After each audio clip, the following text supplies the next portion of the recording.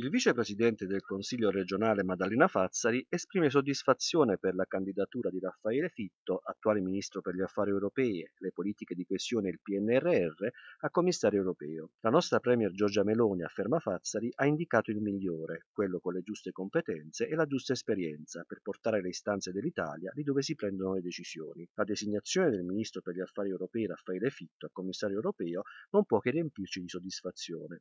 Il lavoro di Raffaele Fitto, sottolinea ancora l'esponente di Fratelli d'Italia, porterà grandi vantaggi all'Italia, ma anche al Mezzogiorno. Di questo si dice appunto certa la consigliera di maggioranza che aggiunge il ministro Fitto è di casa in Basilicata e questo per la nostra regione non può che essere una buona notizia. Fazzari ha poi augurato un buon lavoro a Fitto in attesa che la nomina a nuovo commissario europeo divenga effettiva dopo le audizioni all'Europarlamento.